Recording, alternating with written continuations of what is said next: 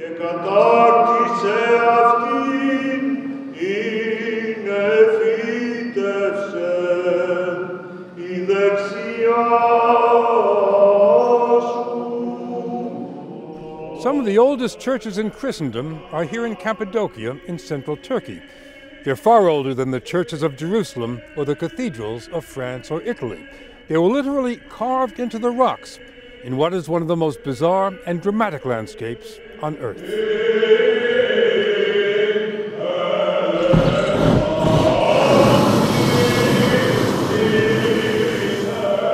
And now we're in the main part of the church.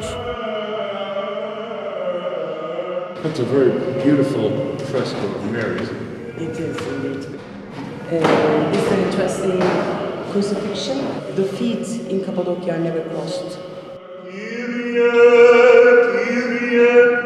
και έβλεψον εξ ουρανού και είδε.